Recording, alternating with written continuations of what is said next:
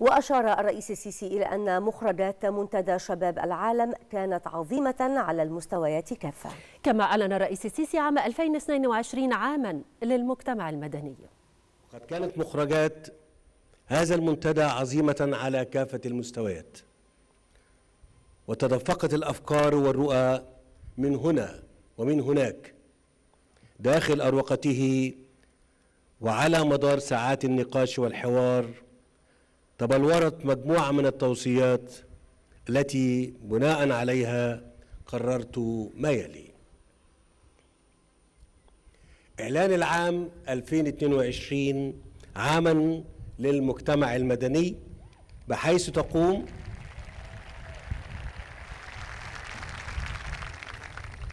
بحيث تقوم إدارة المنتدى والجهات والمؤسسات المعنية بالدولة بإنشاء منصة منصة حوار فاعلة بين الدولة وشبابها ومؤسسات المجتمع المدني المحلية والدولية.